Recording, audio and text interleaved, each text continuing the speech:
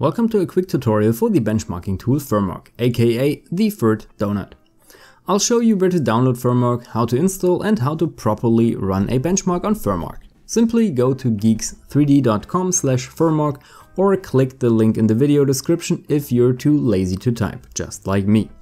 You will instantaneously see the green download button, smash it and save the setup file locally. Then double click the setup file you just downloaded and follow the installation process that is being shown to you. The first one is simply accepting the license agreement. Then you select the destination for the installation. You may then choose to create a start menu folder or not. And finally, you can create a desktop shortcut or even a quick launch icon in the taskbar. I chose not to have any of that and simply installed FurMark. Once the installation is finished, it takes only a couple of seconds by the way, you can launch FurMark directly and also look at the release notes. You don't have to look at the release notes though. Now you're being greeted with a rather small but powerful interface. Since you're here to benchmark your system, only the benchmark section on the right hand side is really relevant for you. Still, a look at the left hand side is not forbidden. You will find two tools, GPU-Z and GPU-Shark, that will allow for monitoring your GPU during the benchmark.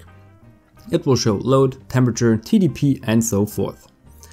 Let's get back to the right hand side though. There are four presets, the most common one will certainly be the Full HD 1080p preset.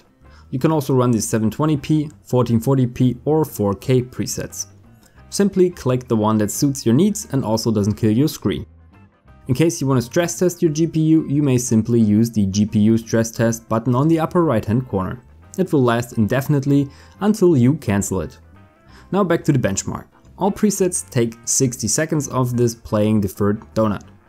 On the top left hand corner you can see the frames per second, the GPU usage in percent, the TDP and other insightful facts.